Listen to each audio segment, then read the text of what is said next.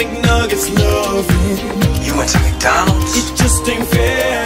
Why can't you share your love with me? Baby, share your love. You're still not getting any of my crispy, juicy McNuggets. Girl, you got a 10 piece, please don't be stingy.